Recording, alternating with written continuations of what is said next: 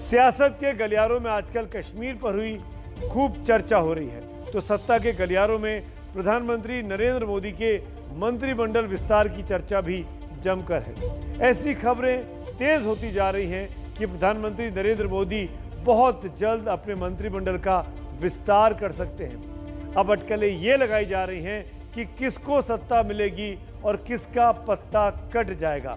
दो साल पूरे हो चुके हैं मोदी सरकार टू को।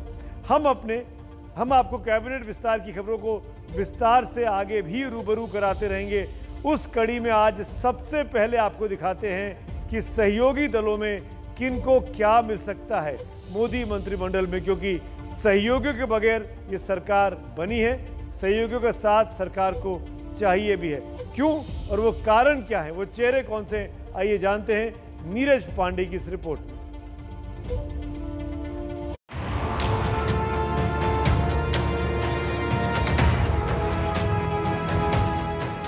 केंद्र में सरकार तो एनडीए की है, लेकिन एक रामदास आठवले को छोड़कर गैर बीजेपी मंत्री कोई नहीं है।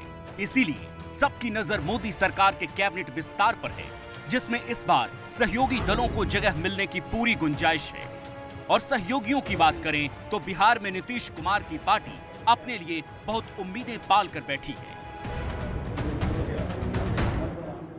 जब भी केंद्रीय मंत्रिमंडल का विस्तार होगा जनता दल, ये चूँकि एनडीए का पार्ट है तो निश्चित रूप से जनता दल की उसमें भागीदारी होगी।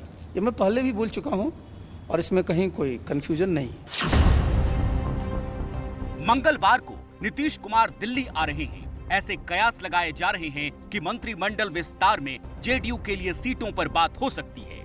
नीतीश कुमार दिल्ली आने से पहले अपनी स्थिति पटना में मज़बूत कर चुके हैं। जिस चिराग ने नीतीश के खिलाफ मोर्चा खोला था वो अगर अपनी ही पार्टी में पैदल हो गए तो इसके पीछे नीतीश का दिमाग बताया जा रहा है। अब एलजेपी के बागी गुट के नेता पशुपतिनाथ पारस को भी उम्मीद है कि मोदी सरकार में वो भी मंत्री बन जाएँगे।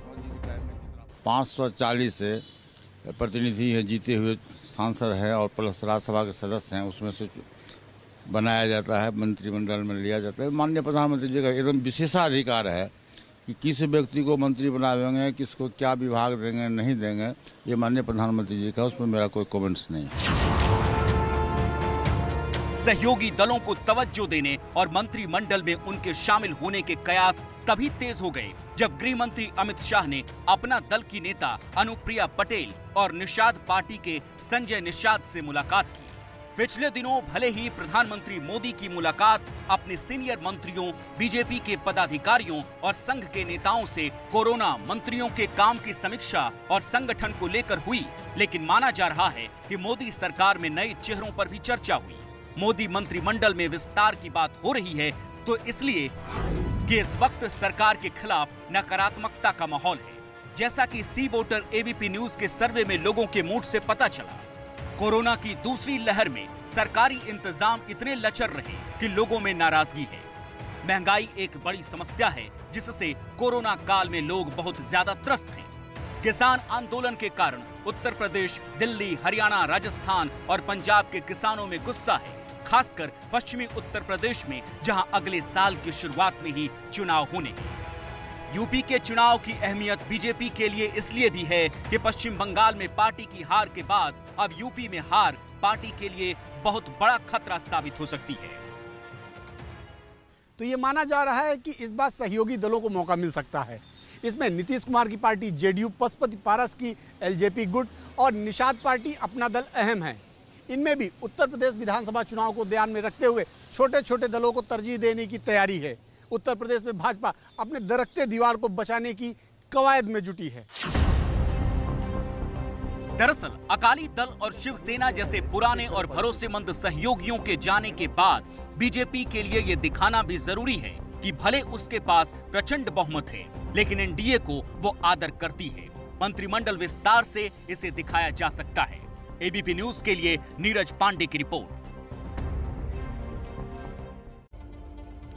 दो पुराने साथी शिवसेना और अकाली दल बीजेपी को छोड़ के जा चुके हैं। वैसे बीजेपी के पास अपने दम पर सरकार चलाने के लिए पूरे नंबर हैं, लेकिन बीजेपी की नेतृत्व ये इंप्रेशन देना नहीं चाहता कि वो अकेले दम पर सरकार चला रहा है। इसीलिए अलायंस पार्टनर्स की जगह को भरने की तैयारी चल रही है। मंत्रियों का चयन कई राजनीतिक जरूरतों और मजबूरियों से भी तय होता है। बीजेपी को अपने दम पर बहुमत ज़रूर हासिल हुआ लेकिन चुनाव जीतने के लिए सहयोगियों की दरकार पड़ती है। लेकिन कई सहयोगी छिटकते गए और महाराष्ट्र में मुख्यमंत्री पद को लेकर शिवसेना से शिवसेना से 25 साल पुराना गठबंधन टूट गया है। यह आपको समझना पड़ेगा, शिवसेना छोड़ के चली गई है बीजेपी को।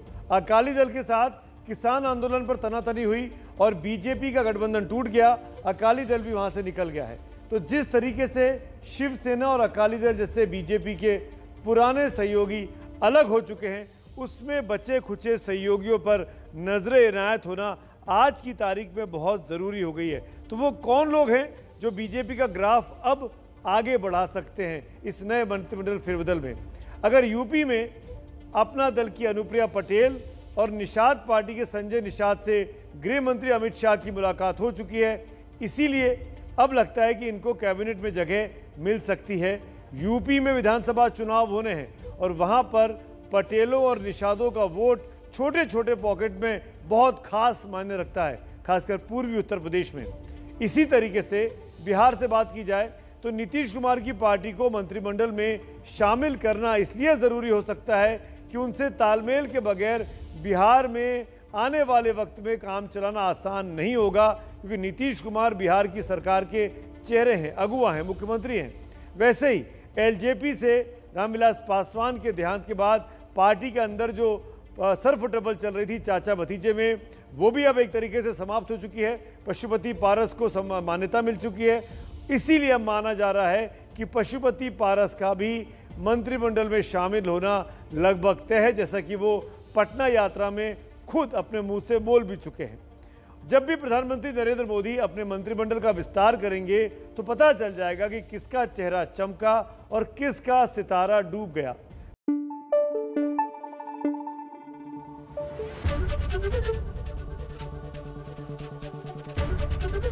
एबीपी न्यूज़ आपको रखे आगे।